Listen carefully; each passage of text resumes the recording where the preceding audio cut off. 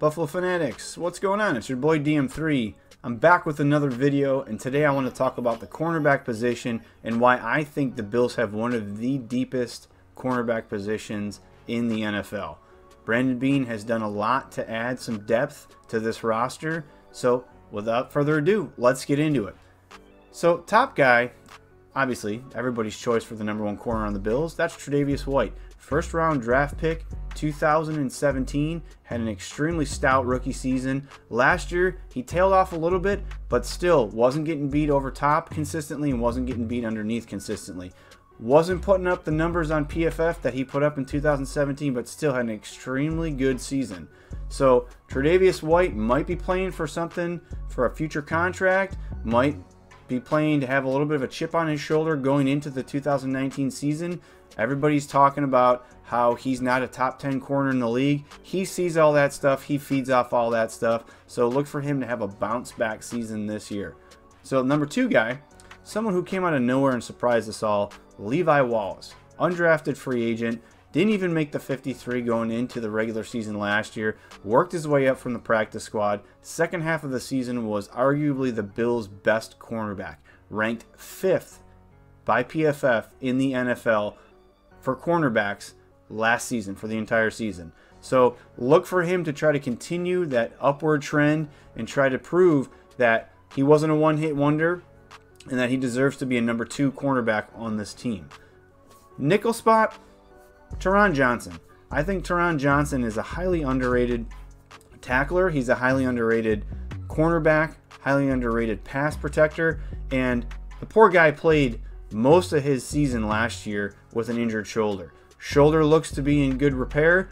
He's looking to prove something just like Levi Wallace is. I think that he's going to be our nickel corner going forward. Now, that leaves me with a couple guys that I'm kind of on the fence about. So, Kevin Johnson was the first player that we signed in free agency.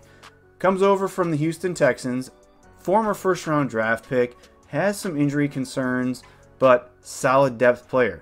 Because remember, you're only one injury away from having your second tier guys starting for you in the NFL.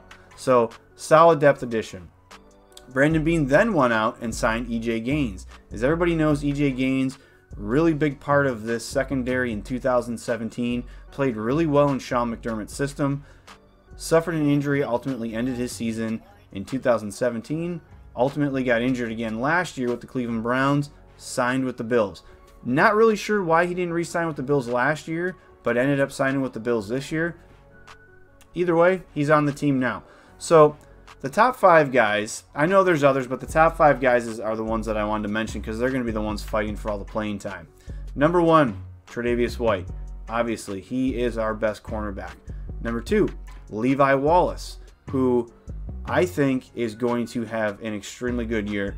He has something to prove, wants to, you know, hey, I'm undrafted. You know what? Fine. I'm going to make your roster and I'm going to shut everything down.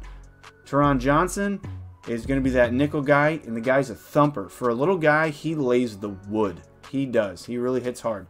Uh, number four, Kevin Johnson. number five, EJ Gaines. Not sure if EJ Gaines is going to push Levi Wallace for that number two spot, but competition makes all the cream rise to the top. I'm really curious what you guys think. I, I'm looking forward to camp because there's going to be a lot more competition this year than we had last year. Last year we didn't have the salary cap money, so we, we couldn't go out and get the EJ Gaines because I think he went to Cleveland ultimately for a better deal. You know, look for Tre'Davious White to have a bounce back season. Not that he was bad last year, but look for him to have a bounce back season because he's ultimately going to be playing for a fifth year option for next year.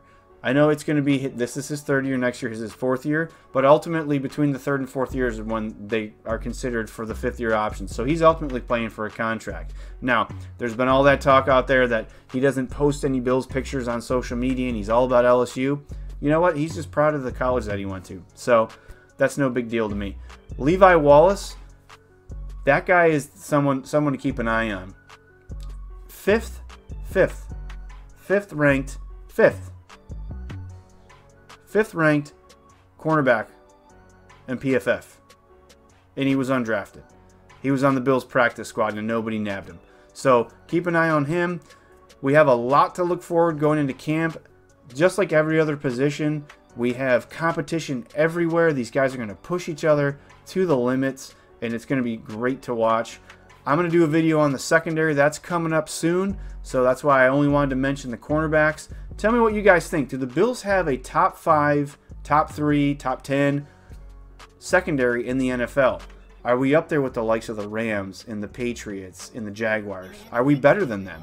Let me know in the comment section. Again, thank you guys for watching. If you haven't subscribed to the Buffalo Fanatics YouTube channel, please hit that subscribe button, hit the notification bell, give me a thumbs up, um, drop comments in there. I, I respond to all of them. If you're watching on Facebook, please share this video. Again, drop comments because I'll respond to all of them.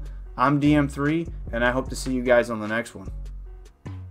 You know I'm on fire. If you don't know who I be, you better ask